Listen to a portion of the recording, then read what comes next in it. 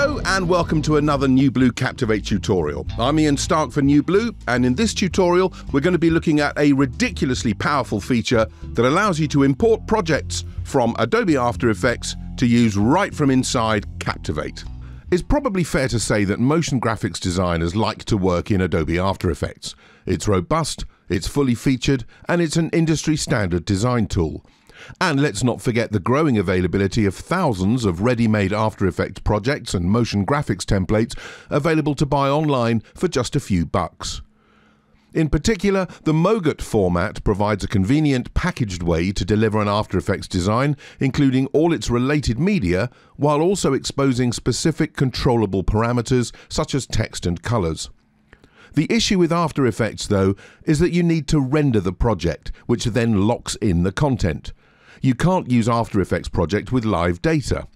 The few available solutions required labour intensive conversions, often sacrificing key design elements such as animated text and impeding both productivity and creative vision.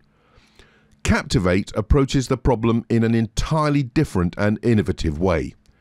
Captivate actually integrates with After Effects and connects the After Effects design directly to your live data using intelligent caching technology to manage the render.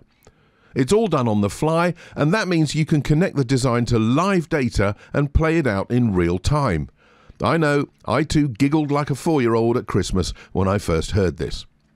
So, if you're able to contain your excitement, let's take a look at how easy it is to do all this in Captivate. By the way, for this to work, After Effects and Captivate both need to be installed on the same Windows or Mac computer, and you'll need the Broadcast edition of Captivate. Here's a simple lower third that I've designed in After Effects. Let's head over to Captivate now and build our project. I'll use this still image for the background and now in the project panel I'll choose Import After Effects from the right click menu. I'll select my lower third project and if this is your first use you'll see this new feature notice which when you've read it can be dismissed forever with a single click. If your After Effects project contains more than one composition, simply choose the one you want to import. In the background, After Effects is automatically opened and builds the graphic. And if I play the graphic on, you can see it appears exactly as it does in After Effects, and thanks to our pause point, which I'll talk about more later, it will hold on air until I play it off. I can now do anything I'd be able to do with a regular Captivate graphic. Let's change the name, and lo and behold, the old text animates off and the new text animates on, using exactly the animation I designed in After Effects. You'll notice that the elements of the graphic that don't change remain on screen the whole time, which is much more pleasing to look at. In the preview window, let me now reposition and resize the graphic. Glorious. And now I'm going to head over to the values grid where I've already set up three names and titles, and as you can see, I can switch between them at leisure. Taking that one step further, and here's the same graphic connected to an external spreadsheet using a data controller. Now let's take a look at importing a MOGRT. Straight After Effects projects are limited to just text and image variables, but MOGRTs can include other attributes like colours, checkbox toggles and much more, which you can then edit right from inside Captivate.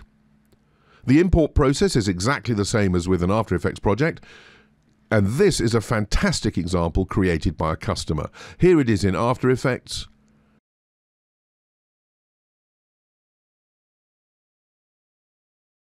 And here it is in Captivate, now linked to a spreadsheet. This spreadsheet contains paths to different image files stored on my network, and as you can see, I can click between them to bring the different sticky notes into my playout. And there you have it. This has been a fairly high level overview to show you how easy it is to start using After Effects compositions in your Captivate projects. Before we finish up though, I'd like to just take a moment to give you a couple of quick hints that will really help you if you're preparing your own After Effects designs to use in Captivate. Firstly, you'll want to make sure that there isn't any dead time in the project. In other words, when the graphic is played on and is just sitting there before playing off, rather than needlessly rendering all that dead time, we can strip it out and replace it with a simple marker at the point between the lower third playing on and playing off. Now, this marker needs to contain the word pause. And that's the trigger that Captivate looks for to hold the graphic on screen before you manually initiate the playoff. If Captivate doesn't find a pause marker, it assumes you just want to play the graphic straight through. It sets the pause point for you at exactly the halfway point and also sets the duration here.